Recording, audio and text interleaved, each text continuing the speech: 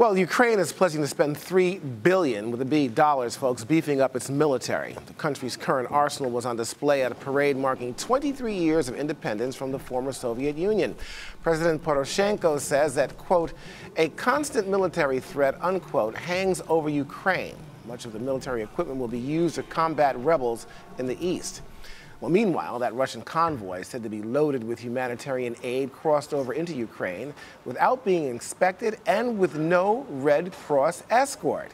And there were fears that the convoy was actually a cover for delivering weapons to the rebels. After making their delivery, the convoy returned back to Russia.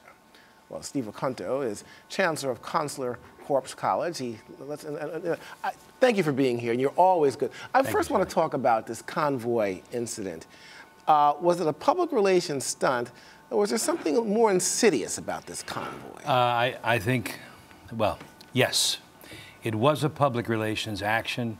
There have been other public relations actions. Mm -hmm. This weekend is Independence Day weekend in uh, Ukraine, and it's been a particularly emotional weekend.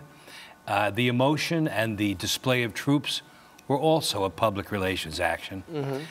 Vladimir Putin, well, if you want to talk about public relations, you know, the first thing you learn in that field, I, am not in it, but I know a little bit about it, you learn that you pitch whatever you're doing to mm -hmm. a mm-hmm. particular audience.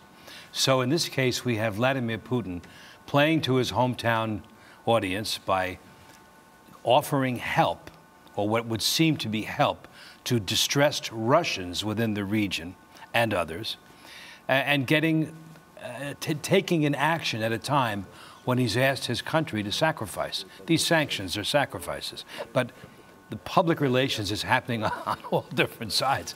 The effect of that on a different audience, on the Wall Street Journal readers, on readers of uh, the more conservative uh, pages of, in this uh, world, the effect is the opposite. It's Putin chipping away and making an invasion. So well, yeah, and, and, and some people are obviously thinking that, and perhaps for good reason. Now, may I ask you a question, though, in terms of these humanitarian trucks going into Ukraine?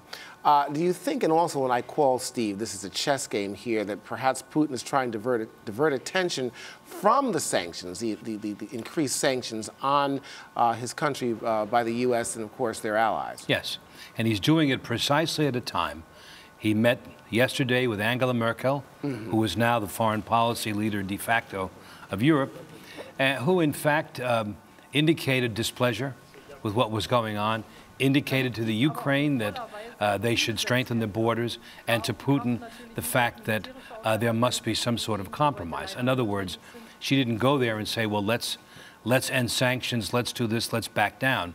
So he has to have the momentum of his own people working for him. But Steve, what is the give and take here? I mean, obviously it seems quite clear to many people that Putin wants more control, more autonomy uh, over uh, certain parts of, of, of, Eastern Europe, of course, Ukraine being the first step in, in what could be a domino effect.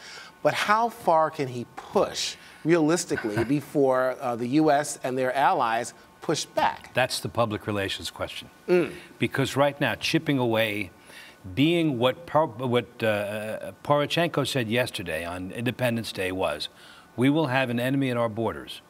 We can expect to have it for a long time. Mm -hmm. Now that diffuses in a way uh, some of the fears because people say, well, is Ukraine ready for this? Well, they're going to be ready for it. Mm -hmm. So Putin will have to make a move. But meantime, he was hoping, I think, to bait the Ukrainians into stopping or shelling or in some way destroying that convoy of what was described as humanitarian aid. Very good ploy. I mean, well, I have to say, Trojan horse. You know? Oh, Trojan horse, or maybe the 800-pound gorilla in the room, because we really don't know uh, what uh, uh, lodged inside those those. those oh, we had a rough fight, a pretty rough fight. It wasn't. It doesn't seem to be armaments. And now, when the boats, the, when the uh, boats, when the caravan went back, they were applauded on, on returning into Russia uh, as heroes. Mm -hmm. So again, the momentum at home for Putin is great. He's mm -hmm. not giving that up.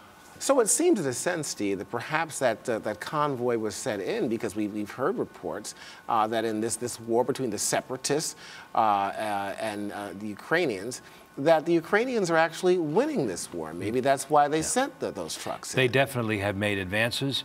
And the fact that they were not intimidated, in other words, the, the intimidation factor here is very big. you're suddenly coming up against this, the Russian bear, if you will.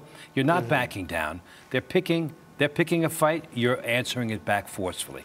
I think you're right. I think that the momentum may have been also uh, delivered by that fact. We've got less than a minute here. What do you think of Obama's handling of this whole situation, at least in a fraction of his foreign policy?